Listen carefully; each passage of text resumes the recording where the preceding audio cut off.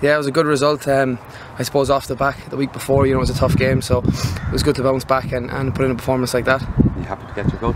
Yeah, it's always nice to be on the score sheet. I can't take can't take much credit for it now. Dane done all the work, but yeah, it's always nice to get on the score sheet. And then back after injury, how does it feel to be back playing? Yeah, it feels good. You know, it's um, the last few weeks. You know, it's it's the best I felt. I felt freely. You know, no strappings, no reaction, nothing. So. Um, credits to, to the two boys, Danny, Danny Miller and Sam Rice for the work they've put in. Do you know, I know they've spent a lot of time with me this year, but even other players, you know, the work they've put in has been it's been brilliant and it shows.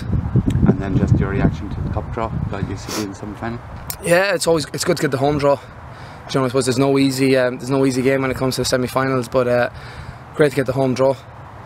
And then just a bit of a break now before the Cork game. Uh, preparations going well for that? Yeah, I wouldn't say a break, but yeah, no, it's going well. We're training hard and um, and getting ready for that. Yeah, so we're looking forward to that game.